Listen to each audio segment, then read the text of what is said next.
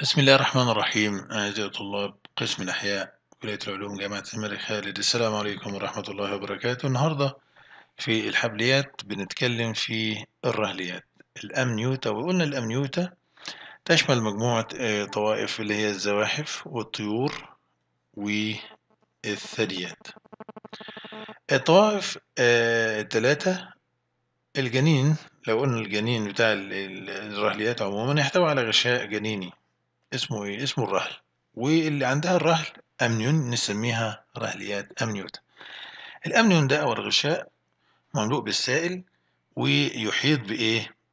ال- ال- الجنين وأنسجة الجنين وتحميه طبعا من التهتك والصدمات والإيه؟ والجفاف بعدها على طول الغشاء السيليلوكورين الذي يحمي الجنين أيضا من الخارج والسجق أو السجق أو الألانتويس الذي يقوم بعملية التنفس وعمليه الإيه؟ الإخراج.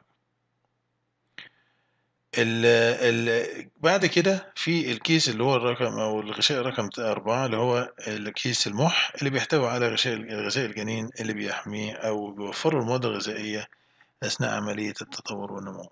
يبقى أنا عندي غشاء الرهل رقم واحد والكورون رقم اتنين الانتويس رقم تلاتة وكيس المح رقم أربعة دول أربع أغشية جنينية بتحيط بالجنين يحتوي الجسم الجسم على منطقة بيسموها منطقة العنق طبعا بقى فيه عنق. والعنق طبعا زي ما أنت عارف بتساعد في الحركة الحرة للرأس يمينا ويسارا بدون التأثير على عملية الإيه؟ المشي أو الحركة. آه ينقسم التجويف الفمي آه جزئيا أو تماما إلى عظمة إيه؟ عن طريق عظمة الحنك طبعا إلى ممر هوائي علوي وممر غذائي سفلي. يعني أنا بقول إن أنا إيه هنا فتحة الأنف وهنا آه بداية فتحة اللي هي نهاية بداية البلعوم هيبقى في نوع عظمة أو عظمة وجزء لحمي عضلي. وهنا الممر الإيه الهوائي ده الغذائي يبقى ممكن تاكل من هنا وهنا ممكن تتنفس من هنا. تتنفس وتت- وتتغذى في آن واحد. ليه؟ لأن في حاجز. مش زي الضفدعة مثلا. الضفدعة ما عندهاش اللي هو الحاجز اللي هو السقف الحلق السنوي وعظمة الحنك دي وبالتالي يا تتنفس يا تتغذى. لكن مثلا على أي كائن تاني من الرهليات هتلاقي في عنده سقف الحنك أو عظمة الحنك دي بيسموه secondary palate أو سقف الحلق الثانوي اللي هو يديك air path ويديك food path ممر هوائي وممر غذائي. اللي بعد كده أول فقرتين عنقيتين الفقرة الأولى بيسموها الفقرة الأطلس والفقرة الثانية المحورية بيسموها ال axis. ودول آه، آه، آه، فقرات عنقية. أول أول فقرة وثانية فقرة. كل جسم في الفقرة في منتصفها هيبقى فيه مركز جسم الفقرة. يقول لك مفيش هنا مركز لجسم الإيه؟ الفقرة مش موجود منها. طيب والمركز جسم الفقرة في الفقرة رقم اتنين وهو في المحور يلتحم في الفقرة المحورية اللي يكون زائدة بيسموها الزائدة السنية أو ال odontoid process. آه هنشوفها دلوقتي في الرسمة في السلايد بعد كده. نقول إن في كل الرهليات الموجودة فيها 12 زوج من الأعصاب المخية. نقطة مهمة أوي. ال cranial nerves الأعصاب المخية.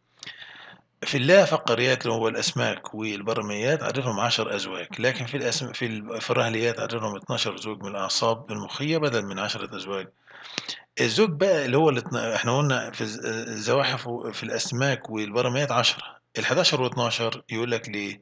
لأن في عصب اللي هو العصب الشوكي الإضافي اسمه spinal accessory nerve ما كانش موجود قبل كده في الرهليات وفي العصب التحت اللساني اللي هو hypoglossal nerve برضه ما كانش موجود في الرهليات ده شكل بس بيوضح لك ال- الفقرة الأولى اللي هي الفاقة ال first vertebra ال atlas وده ال second vertebra اللي هو ال axis.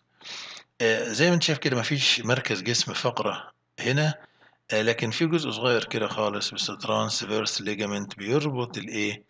الجزء ده مع الجزء ده ده اسمه ال condylar facet اللي هو الإيه؟ التجويف القذالي اللي هيبدأ يتمفصل مع ال occipital condyles الموجودة في ال skull ال- اللي هي اللقمتان القذليتان الموجودتان في نهاية الجمجمة.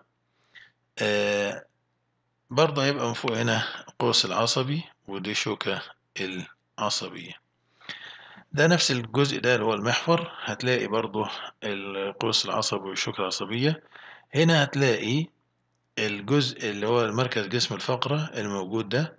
هتلاقيه جزء أمامي كده ملتحم مع الفقرة الأمامية الناحية الأمامية هو كان المفروض يكون مركز جسم الفقرة هنا ملتحم هنا مع الجزء مع مع الفقرة الثانية وكون حاجة اسمها ال odontoid process أو الزائدة السنية